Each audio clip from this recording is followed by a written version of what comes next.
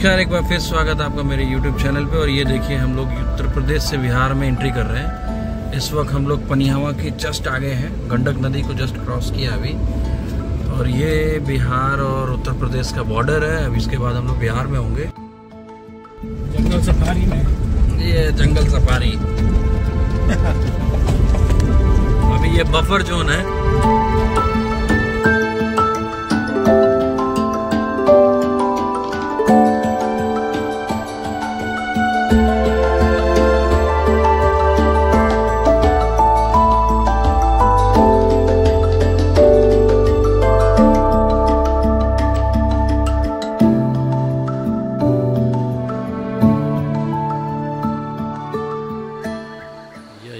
देखिए क्या खूबसूरत नज़ारा है वाल्मीकि नगर का। यहाँ वीडियो बनाना तो थोड़ा ख़तरनाक हो सकता है, मगर ये काफ़ी डेंस इलाका है और इधर से लोग आ भी रहे हैं और काफ़ी जंगल के बीचों बीच है, चारों तरफ़ से। और चिड़ियों की आवाज़, जानवरों की आवाज़। वैसे इधर से गाड़ियाँ निकलती रहती हैं तो इस वजह से इस इलाके में इतने जानवर दिखने नहीं चाहिए।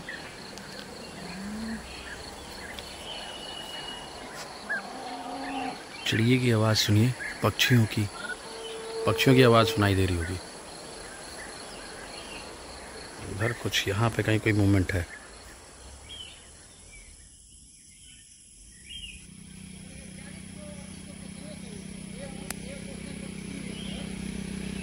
जंगल में हैं और ये देखिए ऊपर गुप्त जंगल के अंदर ये देखिए पता नहीं कैसे पूरा झुंड है। कुछ तितली जैसी कुछ है। अगर आप लोगों को समझ में आए तो कमेंट में ज़रूर करके बताइएगा। ये पूरा घना जंगल है। अगर ऐसे देखेंगे तो। और ये रोड बनाओ जगह जगह पर। ऑफिशियली एंट्री हो गई है इंडिया से नेपाल के अंदर। इस वक्त हम लोग नहीं है नेपाल में एंट्री कर चुके हैं। अच्छा यहाँ भी बैराज है ना? ये बराज है। इधर वाला पानी वहाँ छोड़ और इधर आगे पहाड़ है नेपाल के हिमालयन। उधर भी आपको देख सकते हैं। कैमरा जस्टिस नहीं कर रहा। है अभी आपको आगे दिखाते हैं। ये अपना है बराज गंडक नदी पे। नेपाल के अंदर हम लोग हैं और ये नेपाल का बराज। चलिए आगे और दिखाता हूँ आपको नेपाल में। नेपाल के अंदर ये है शंकर भगवान का मंदिर और माना जाता है कि ये वही स्थान है जहाँ पे गजेंद्र मोक्ष की कहानी हुई थी। मतलब मगरमच्छ जो गजराज खींच के पानी में ले जाता है तो वो यही स्थान है। तो फ़िलहाल आप ये देख सकते हैं ये आपका हिमालय और हिमालय के पर्वत हैं और इधर से ये गंडक नदी आ रही है। और उधर की तरफ़ आपको जो दिख रहा है वो पूरा भारत है। और उसको वाल्मीकि नगर बोलते हैं और इधर ये चितवन नेशनल पार्क की तरफ़ से माना जाता है। पुल पे आ गए हम लोग ये है नेपाल के अंदर वाल्मीकि आश्रम को जाने के लिए। हाँ। तो ये सस्पेंशन पुल बनाया गया, जैसे वही राम झूला, लक्ष्मण झूला के तर्ज पे, लेकिन ये बहुत ही सकरा है। इस पर बाइक वाइक बाइक चली जाएगी, पैदल वाला है, दो लोग आराम से जाएँगे, देख सकते हैं। और नीचे है गंडक रिवर, और सामने हमारा हिमालय, उसके ऊपर जो भी पहाड़ के ऊपर जो जंगल दिख रहे हैं, वो चितवन है।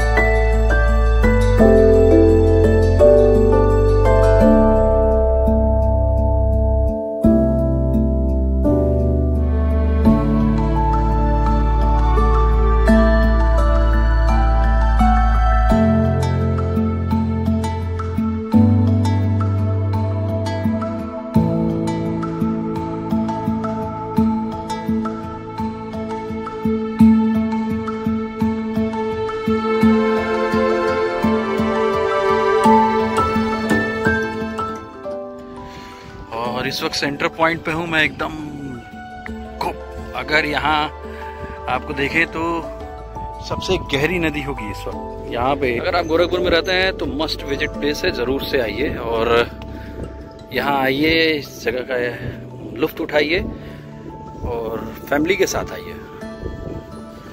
यहाँ ठहरने की काफ़ी अच्छी व्यवस्थाएँ हैं, बहुत सारे रिजॉर्ट हैं और बहुत सारे अच्छे होटल्स हैं।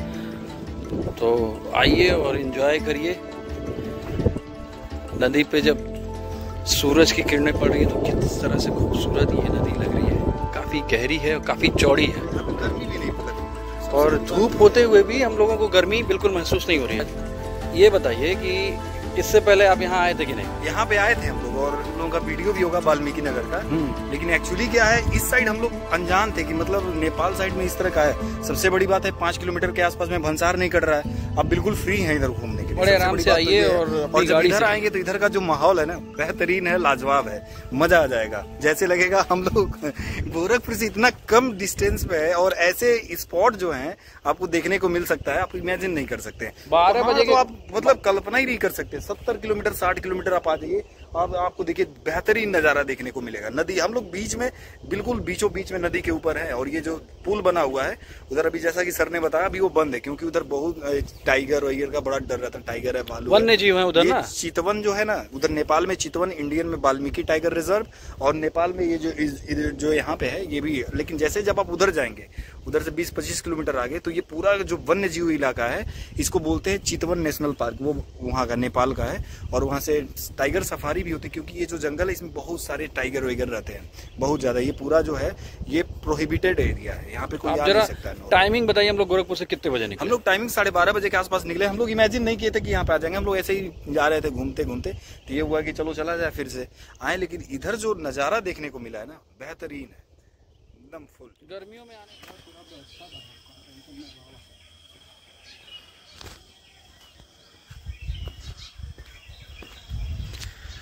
गजेंद्र मोक्ष की ये मंदिर है सामने काफ़ी बड़ा है और खूबसूरत भी है ये आप देख सक रहे हैं।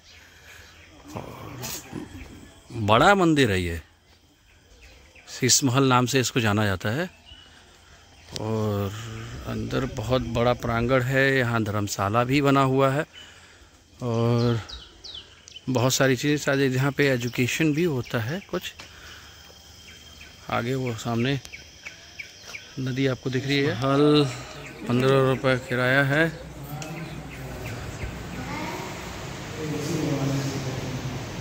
ये है हमारे राधा कृष्ण की मूर्ति।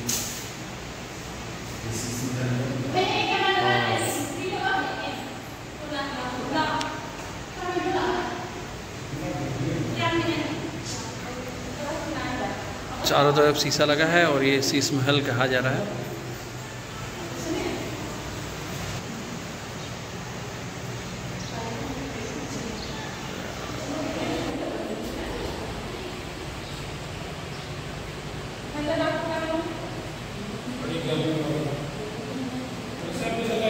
गजेंद्र मोक्ष का मंदिर है ये और हमारी माता जी काफ़ी इस पे कहानी हमको सुनाती हैं और काफ़ी प्रसिद्ध जगह है। आप एक बार यूट्यूब पे सर्च करिएगा कि गजेंद्र मोक्ष की कहानी क्या है।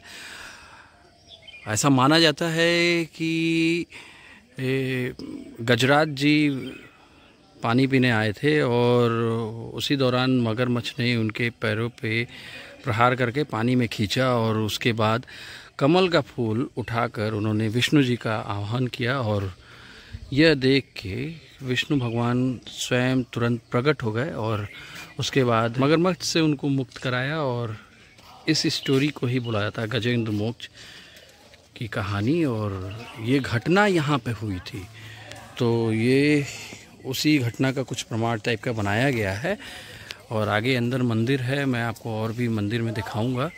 अंदर मंदिर में ले चलता हूँ, काफ़ी बड़ा मंदिर है। अंदर से ये मंदिर काफ़ी खूबसूरत है और ऊपर नारायण जी की प्रतिमा बनी हुई है और ये काफ़ी खूबसूरत और बड़े में है। मुख्य द्वार पे हनुमान जी हैं और अंदर नारायण जी की प्रतिमा है।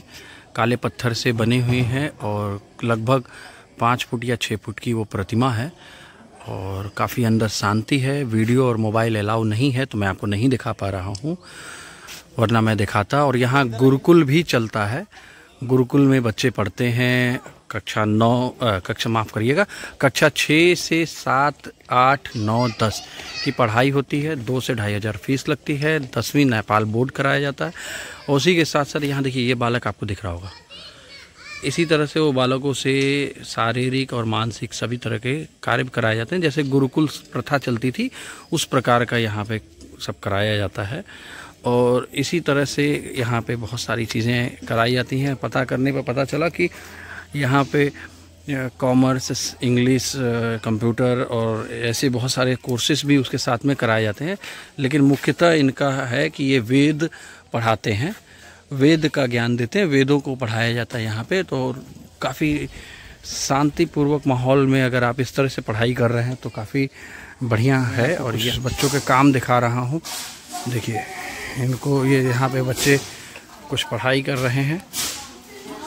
देखिए, ये कुछ अपना पढ़ रहे हैं, कुछ वेद का ज्ञान ले रहे हैं। उधर उस तरफ़ आप देखिए, वही बालक आप कुछ कंस्ट्रक्शन काम में मदद कर रहे हैं। जिस प्रकार से कृष्ण भगवान, राम जी और बाकी सभी लोग गुरुकुल में जाके वेदों का ज्ञान लिया और ये सारी चीज़ें, सारी विद्याओं को सीखा, उसी तरीके का ये भी जगह है और बहुत ही खूबसूरत है। हमको तो हरिद्वार ऋषिकेश जैसी फीलिंग आ गई।